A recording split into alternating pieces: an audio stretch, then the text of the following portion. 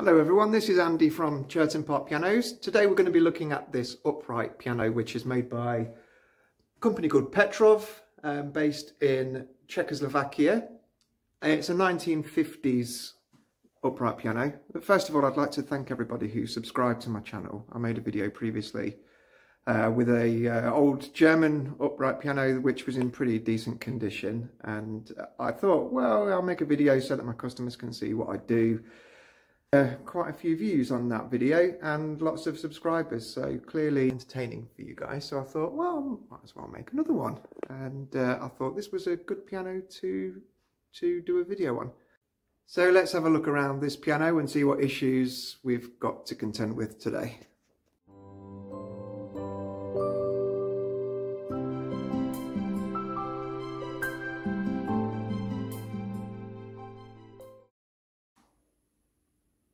right, so this is quite a nice uh, looking piano. It's got nice legs, it's got nice inlay on the front. It's a rosewood case. We've got a bit of borer in this cheek here. Now it's old borer, I can tell, but I am going to retreat it because I'm just not going to take the risk. Um, there's some borer in the cheek there. There was one or two little bits on the side of the piano here. A few, not too many, there are a few little holes there and they look quite old. So the bottom here on the side, there's a, a small collection.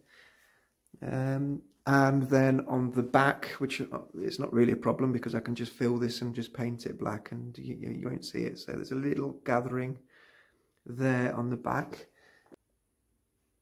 Okay, so I've took the panels off the piano, the front panel, the knee panel, or the knee board, and now everything is exposed inside. So there's the panels there, and uh, I've checked them all over, and I can't see any more boring. So let's check the inside here.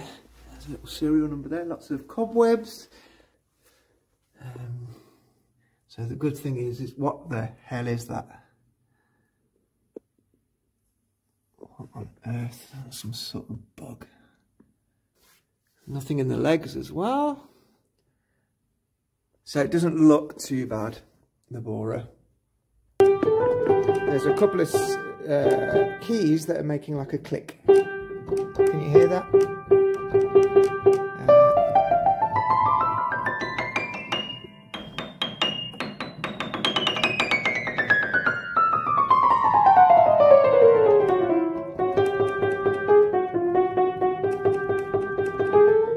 Couple of notes that feel a little bit a little bit loose. The rest of the keys.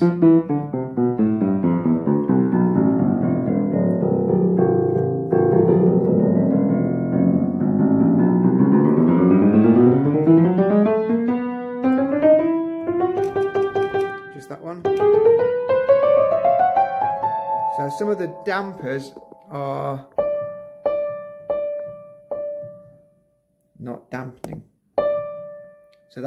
note is ringing. That one is. That one is. That one's not too bad, but it's still not right. That one's okay. so I need to look at the dampers as well. These are all ringing. Probably take this action out and give it a good service. All the hammers they're not sort of moving from side to side. They're all quite tight. That one's a little bit. It's not too bad. And again, it's quite an easy fix, really. I just need to change the pins. So, yeah, that's okay. So, yeah, all in all, it's not too bad. Soundboard's all good. All the main things are okay. Probably look a bit of cosmetic and just some servicing on the action that's needed and it'll be all good.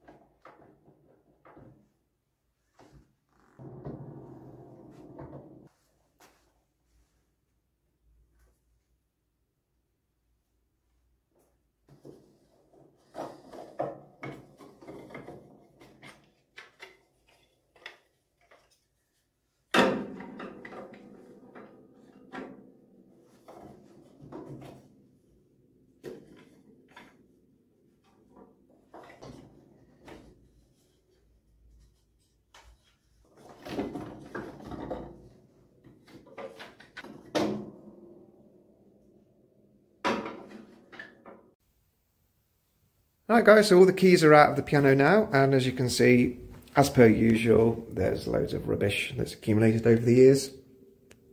Another bug. Uh, so that needs a really good clean and really good vacuum and uh, the pins need to be cleaned. Uh, the frame is looking splendid. Look at it. Doesn't it look lovely? It's that kind of pitted design. I really like it. Um, Petrof pianos are really nice. So yeah, so I need to do that. I need, there's the action on the floor, so I'm just going to do some work on the action in a minute. But first of all, I'm just going to retreat the borer, even though I know it's old.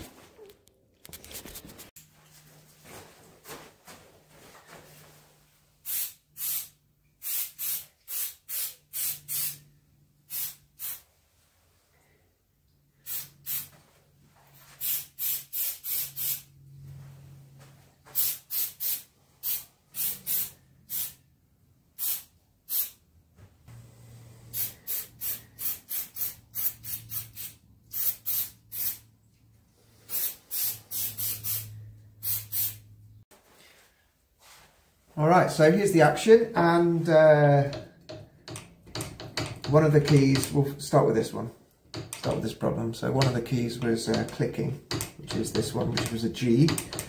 Um, so I know what the problem's going to be. It's going to be the uh, jack, when it when you've released the key, the jack uh, returns back to its position and there's a piece of felt that the jack rests against, which will be either degraded or it would have fallen off.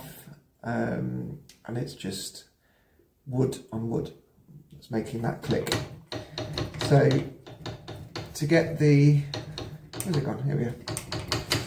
So to get the uh, hammer out I need to undo the bridle tape which is here. Now being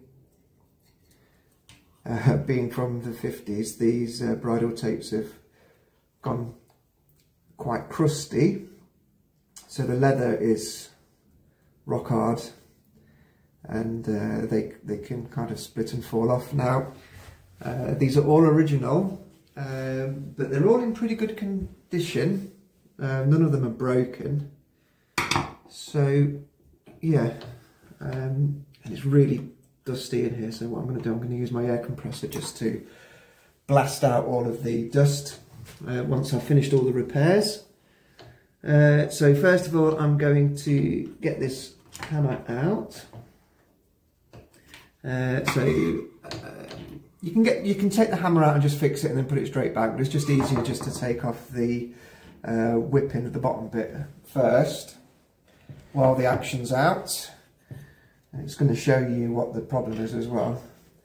So let's undo the whipping. So you undo that at the back with just a flathead screwdriver.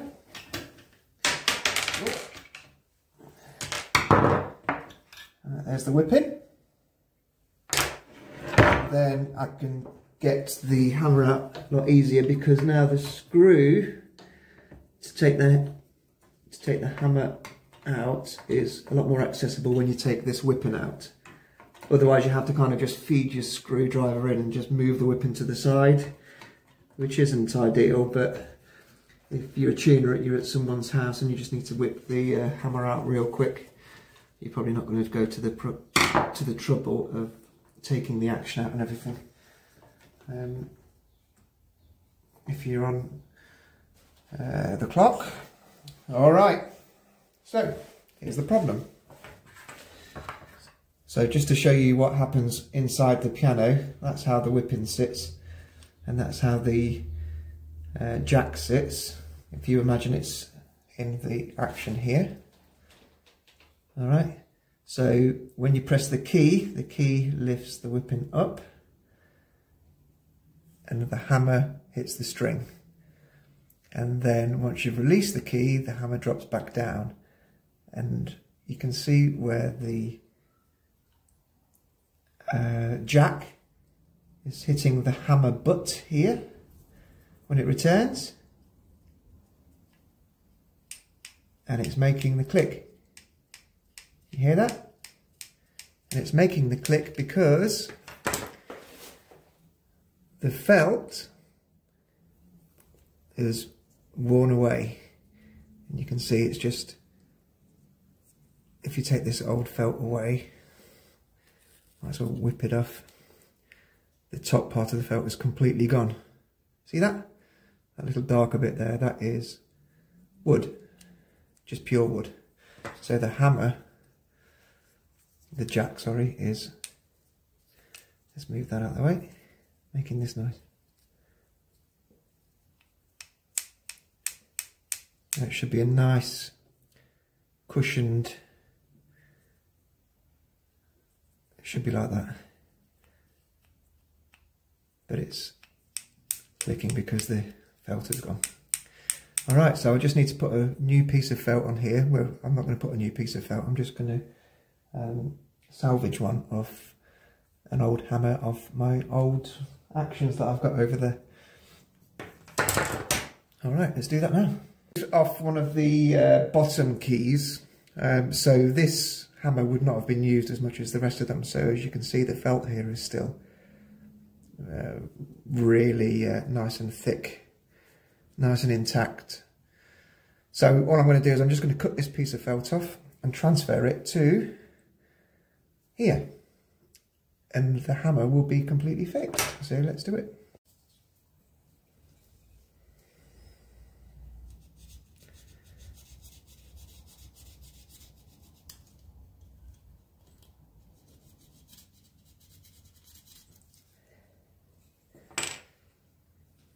There you go, a little bit of felt.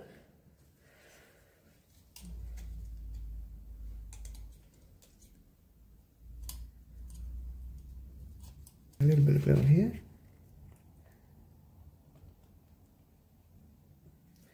Little blob.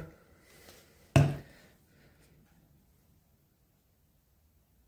need a bit more actually.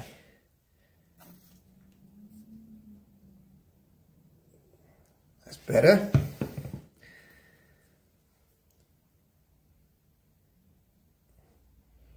Squeeze that out.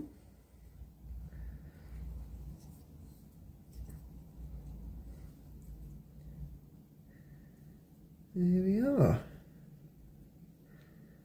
So that is now going to work absolutely perfectly. And just checking the rest of it. So all of the leather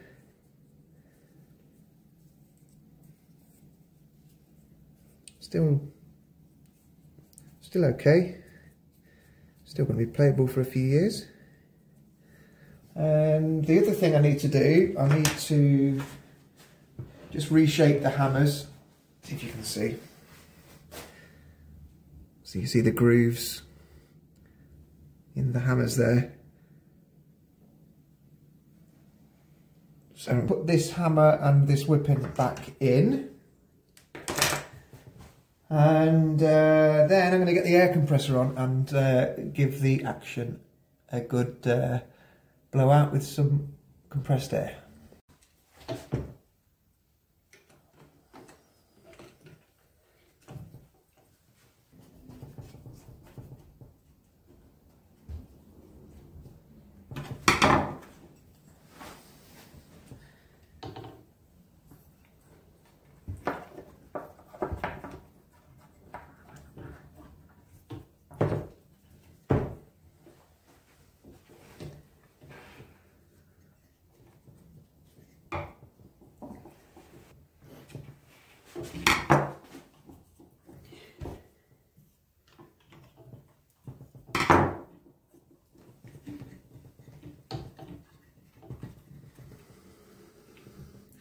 Fiddly little job this is.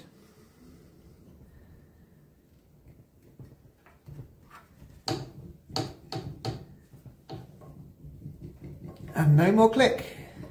The other issue I just remembered um, is the some of the dampers, dampeners were not um,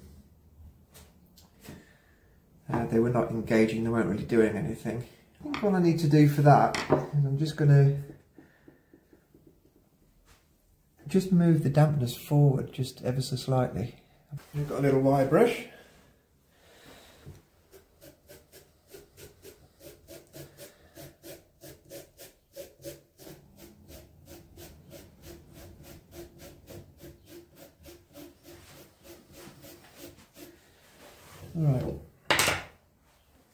So here's my wire bending tool.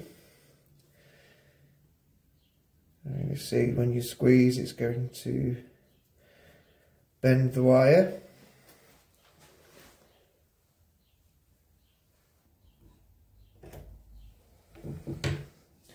So as you can see that one has now moved forward a little bit so I've just got to do it to the rest of them.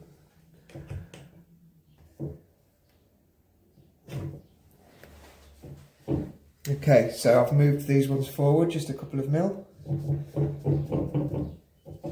The springs feel quite uh, strong. So this this should uh, should pretty much fix it, I would say. Right, now, it's a little bit more difficult for me to get this uh, tool in there. So what I think what I'm really just going to do, I'm just going to move it, move them forward by hand.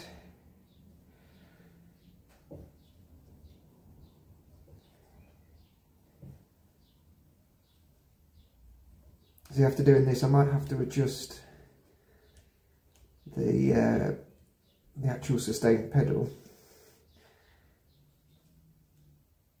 Because it might not uh, come away from the strings enough but at least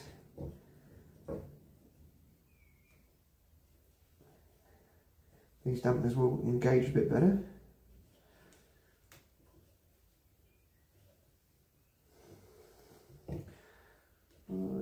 forward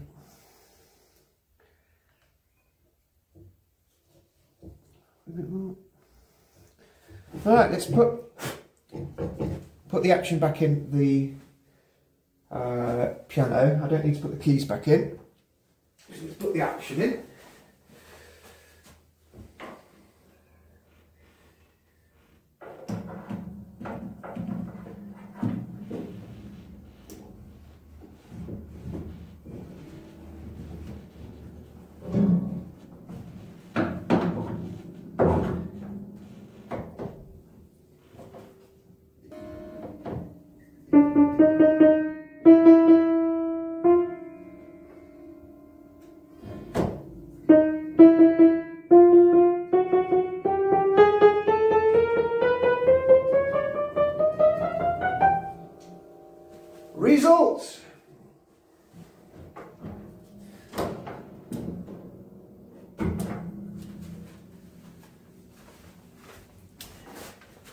Okay, that's great. So that's worked. So now the dampers are engaging on all the strings. The clicker's gone.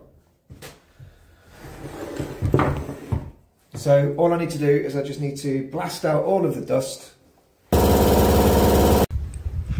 Right guys, I've brought the action outside now to uh, give it a good blast with the air hose.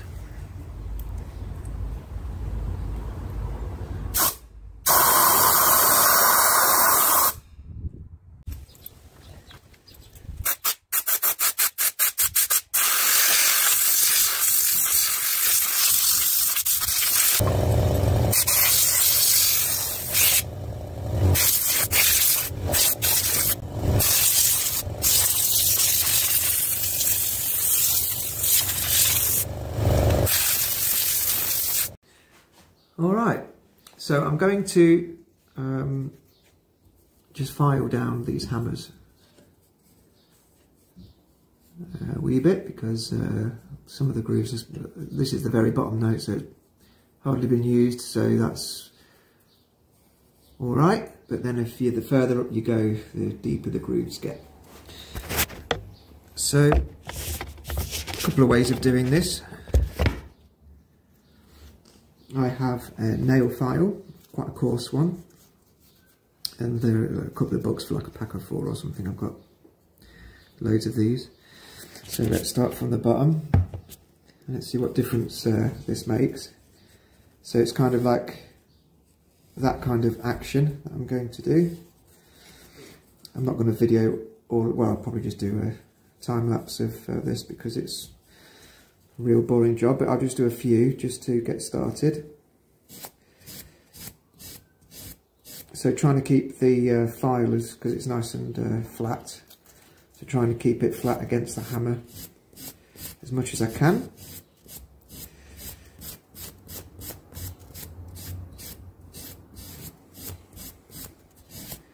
And keep going until the groove is gone.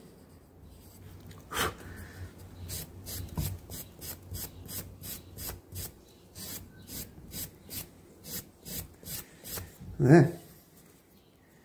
That's nice and round now. So I'll just do one in the middle somewhere.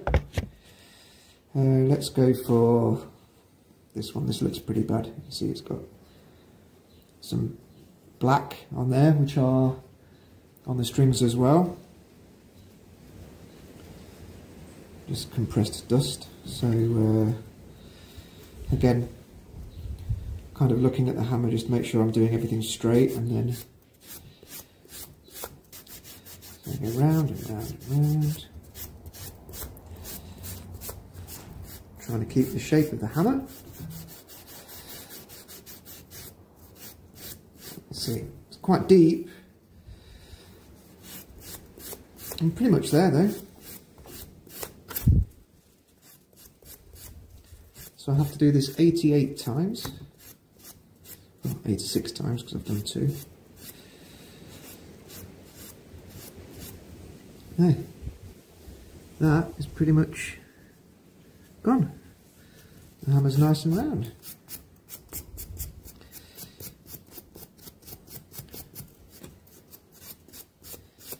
There we are. Alright, let's get to work on the rest of them.